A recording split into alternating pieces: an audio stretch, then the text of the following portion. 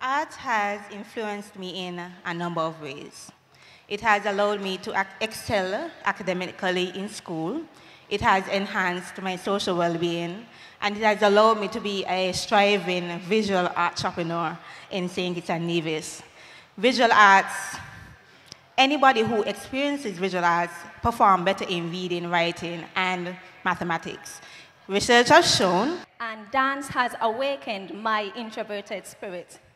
It is my hope that after this pageant, I intend to open my own dance institution where I can nurture the artistic expression in our federation's youth so that they can learn all of, of the non-nationals into the local society. Important because I am a non-national myself.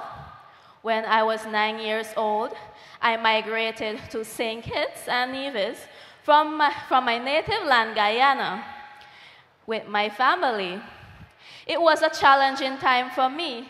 As someone with a bachelor's in finance and a master's in financial risk management, I know firsthand that the financial landscape is complex and that the financial responsibilities of adults are substantial. The purpose of high school is to prepare our federation's teenagers. Having been a student athlete from my primary school to my college years, I am aware of how challenging yet rewarding it is.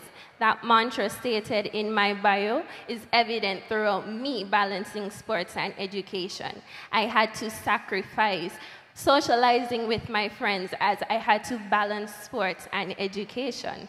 Time management, commitment, dedication, these were things that were put into me being the well